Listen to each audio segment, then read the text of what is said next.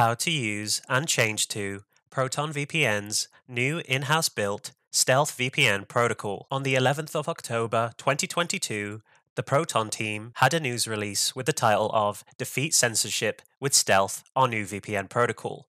Now, I know I'm a little late to talking about the new Proton VPN Stealth protocol, as this article was released around two weeks ago, but I think it's still important to cover as it hasn't been talked about in detail on YouTube just yet. So, what exactly is Proton VPN's new stealth protocol, and what does it do? Basically, the Proton team developed a new VPN protocol, they called it Stealth, and it's used to avoid detection and let you bypass internet censorship and VPN blocks. Why is Stealth needed? To put it simply, it's a brand new protocol built from the ground up, allowing your Proton VPN connection to be almost completely undetectable. As of today, of course. In the future, the protocol could be obsolete. The Stealth protocol is currently available on all Proton VPN plans including their free plan, and this is because, according to the Proton team, everyone deserves online freedom. For now, you can use Stealth on Android, macOS, and iOS. As of today, guys, the new Proton VPN Stealth protocol is not available on Windows. In the future, hopefully this changes. I'll update you with a new video if the Proton VPN team announce a release for Windows. We'll get to how to use Stealth in just a bit, but for now, I want to give you a bit more detail on the Stealth protocol before I show you how to change to this protocol and use use it. So on the stealth protocol, Proton VPN Stealth is a unique protocol that evades detection and allows you to bypass most firewalls and VPN blocking methods. Unlike other VPN services, the Proton VPN team is deeply committed to advancing freedom and developing new technologies to beat censorship around the world. For instance, their alternative routing technology bypasses internet blocks by routing connections over other paths.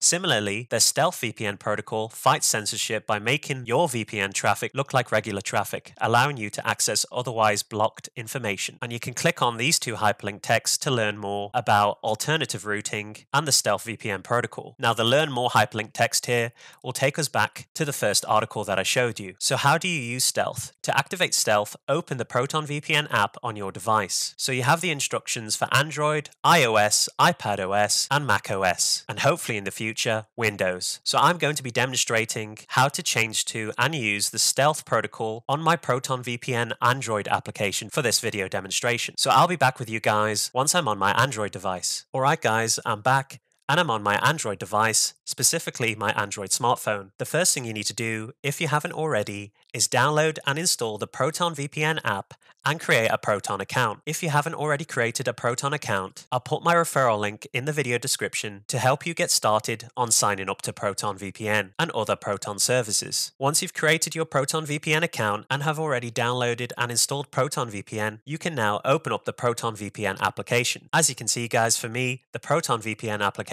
is on my home screen. I'm simply going to tap on it to open it. Once you've done that, guys, and you've already signed up for your Proton VPN account using my referral link, tap or click on sign in, enter your username or your Proton address, and then enter your password. So I'm just going to enter my Proton VPN details now, guys, to sign in. Once you've entered in your details, tap or click on sign in, depending on the device you're currently on. Once you signed in, you'll be greeted with a list of servers that you can connect to. As you can see, guys, I'm currently using the Proton VPN free tier. Next, what you'll need to do is follow the steps for your specific device on how to use Stealth. I'm on Android, so the first thing I'm going to do is tap on the three horizontal lines at the top left hand corner. Once done, I'm going to tap on settings. I'm then going to scroll down to where it says advanced and then I'm going to tap on protocol. As you can see by default, the protocol is set to smart or automatic, which lets Proton VPN decide for you what VPN protocol to use. The protocol that we're looking for is the Proton VPN protocol called Stealth. As you can see guys, it's right at the bottom, so I'm just going to tap on it now to select it. Once selected, I'm going to tap on the arrow at the top left hand corner to go back to my list of servers. The server that I'm going to connect to, guys, is the Japanese server. So I'm simply going to tap on Japan here, and I'm going to pick the fastest server by tapping on the power button. I'll then be greeted with a small window which says Connection Request.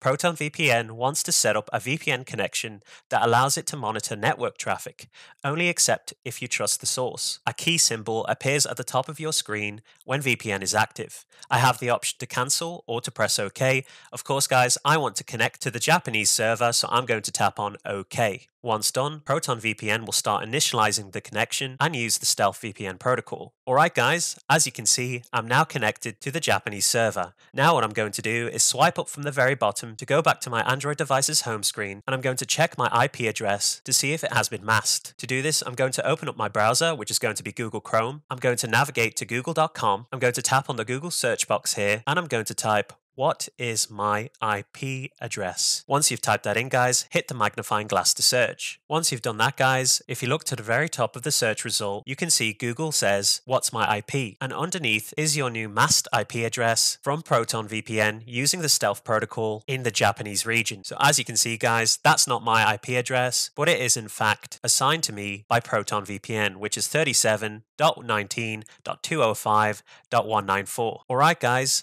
that pretty much concludes the video on how to use and change to Proton VPN's new in-house built Stealth VPN protocol. If you enjoyed this video, be sure to give it a like, comment down below, and most importantly of all, subscribe to support the channel. Remember guys, if you haven't already created a Proton VPN account, be sure to use my referral link in the video description below. It will help me out immensely and it will take you through the process of creating a Proton VPN account. And don't forget to subscribe to the channel guys if you found this information valuable. I'll see you on the next video.